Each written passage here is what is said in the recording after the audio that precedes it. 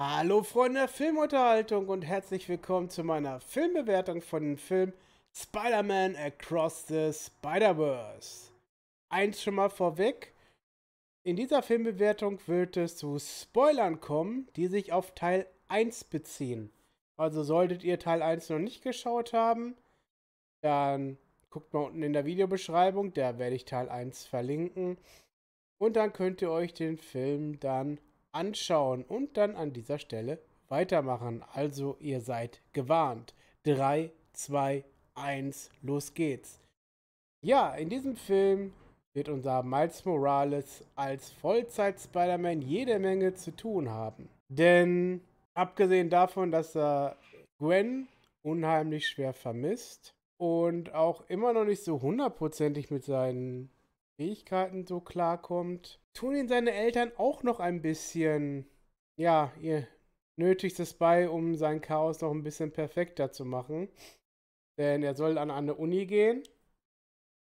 Und ja, die Uni, die sie sich vorstellen, die soll in Brooklyn sein, ist nicht so ausgestattet mit den Dingen, die Miles gerne hätte sondern er möchte gerne eine andere Universität besuchen, wo er dann besser mit diesen ganzen Zeitverschiebungs-, Multiversums-Sachen alles besser experimentieren kann. Außerdem kommt noch ein neuer Feind ins Spiel, nämlich Spot. Denn was wir gar nicht so mitgekriegt haben, als diese ganze Maschinerie von dem Kingpin in, äh, instand gesetzt wurde und in Gang gebracht wurde, wurde als, ja, sagen wir mal, Unfall ein Wissenschaftler in eine Art Gestalt verwandelt, die sich so ein bisschen, ja, sagen wir jetzt mal, teilweise durch den Raum bewegen kann und kann zum Beispiel durch verschiedene Spots, also die Punkte, weil er hat an seinem Körper diverse Punkte, die kann er irgendwo hin platzieren und kann zum Beispiel seine Hand an Ort A bringen und die Hand kommt dann an Ort B wieder raus zum Beispiel. Klingt jetzt etwas komplizierter, aber wenn ihr den Film seht, werdet ihr das dann sehen. Ja, und dieser Spot macht Spider-Man natürlich ein bisschen, manchmal auch ein bisschen mehr das Leben schwer. Denn als er dachte, er hätte ihn, muss er dann sehen, dass er ihn dann doch nicht hatte. Ja, und zusätzlich dazu öffnet sich doch auf einmal ein Portal und ja, nicht nur Gwen kommt zum Vorschein, denn auch sein alter Freund Peter kommt zum Vorschein, aber auch eine Spider-Man Society kommt nach und nach immer mehr zum Vorschein, die aber nicht alle Miles wohlgesonnen sind. Und ja, irgendwie wissen alle nicht so hundertprozentig, auf welche Seite sie stehen sollen und ähm, auf welche Seite sie eigentlich tatsächlich stehen.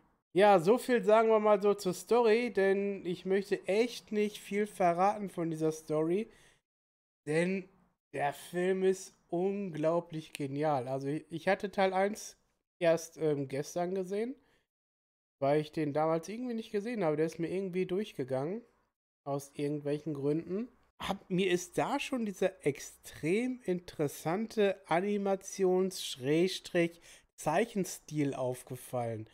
Und der wird in diesem Film dann nochmal verfeinert, ausgeweitet, wie auch man es immer gerne sehen möchte in dieser oder anderen Szenen. Also, wir haben da natürlich nochmal eine Schippe draufgesetzt, was den Film nochmal nach vorne bringt. Außerdem finde ich auch, dass sich die Charaktere hier extrem weiterentwickelt haben. Miles kriegt immer mehr Struktur rein in seine Spider-Man-Fähigkeiten. Gwens Leben wird auch immer mehr, ähm, ja, auch chaotischer, was für sie das Leben auch nicht einfacher macht. Und ähm, ja, auch Peter wird sich auch immer mehr weiterentwickeln und ja, Peter ist und bleibt einfach so der Spider-Man, wie man ihn eigentlich kennt. So ein bisschen lustig, locker, nicht so hart und bisschen wie manche anderen Spider-Mans da in diesem Spider-Verse so sind. Ja, also der Film macht einfach richtig Spaß. Also auch wenn der Film die 2-Stunden-Marke knackt, so mit 2 Stunden 16 ungefähr, ist der Film aber keinesfalls langweilig. Ich fand den Film auch nicht langatmig. Also da muss man natürlich sagen, haben das echt geschafft, diese über zwei Stunden mit sehr viel Story, mit sehr viel Emotion, mit sehr viel Drama gut zu füllen, so dass man wirklich im Kinosessel dann sitzen bleibt und denkt, boah, was kommt denn jetzt? Was passiert denn jetzt noch? Und das haben sie so unglaublich toll gemacht. Was ich jetzt aber ähm, nicht finden konnte, sind die neuen Synchronsprecher, die bei diesem Film neu aufgetreten sind. Also ich habe im Internet geguckt, ich konnte bis zur Aufnahme nicht die neuen Synchronsprecher finden, die jetzt für die neuen Rollen dabei hinzugekommen sind. Ja, also das ist auch noch so eine Sache, was ich schade finde, denn ähm, ich sehe zum Beispiel, dass also zu, bei der amerikanischen Besetzung habe ich jetzt zum Beispiel keinen Synchronsprecher hier gesehen, wo ich jetzt sage, das ist jetzt Promi oder so, beziehungsweise ein Promi, den jetzt, den man jetzt hier in Deutschland zum Beispiel kennt, oder jetzt irgendwie ein großer Filmstar oder sonst irgendwas. Also das ist jetzt hier nicht aufgefallen. Ich weiß jetzt nicht, wie das denn jetzt im Deutschen ist, ob da irgendwelche YouTuber, Influencer oder so da irgendwas eingesprochen haben, kann ich an dieser Stelle jetzt nicht sagen. Was ich aber auch sagen kann, ist, der Film der ist mindestens genauso gut wie der erste Teil. Nur mit noch mehr Chaos. Also der Film ist teilweise wirklich reines Chaos. Da muss man echt am Ball bleiben. Da darf man nicht irgendwie mal eine Pinkelpause machen oder sonst irgendwas.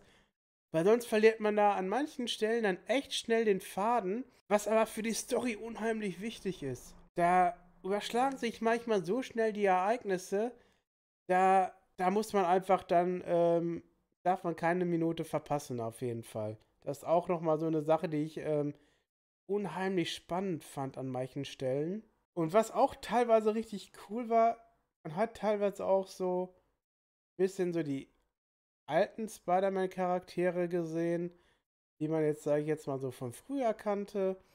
Die haben da echt viel eingebaut, also die haben echt, also die, also wer da alles da ähm, mit an der Story gesessen hat und ähm, an der Umsetzung gesessen hat, da müssen echt viele kreative Leute bei gewesen sein, weil auf manche Ideen muss man erstmal kommen. Und welche Bewertung ich dem Film gebe, sage ich euch nach der Werbung für meinen Shop. Hallo Leute, hier ist der MC Rossi Fanshop. Hier gibt es vieles von euren Lieblingsstreamer und Content Creator. T-Shirts, Turnbeutel, Hoodies und vieles, vieles mehr. Geht auf den Link in der Videobeschreibung und holt euch eure Produkte. Hier gibt es jede Menge. Schaut es euch an und kauft fleißig ein. MC Rossi Shop. Alles, was ihr braucht. Ja, da sind wir wieder. Also kurz zusammengefasst nochmal. Die Charaktere entwickeln sich weiter. Der Film macht richtig Bock. Der Film geht zwar relativ lang, aber ich finde, der, man hat da wirklich auch sehr viel Story und alles reingepackt, um diesen Film nicht langweilig werden zu lassen. Wie gesagt, Synchronsprecher, die neuen konnte ich hier zum Beispiel nicht finden.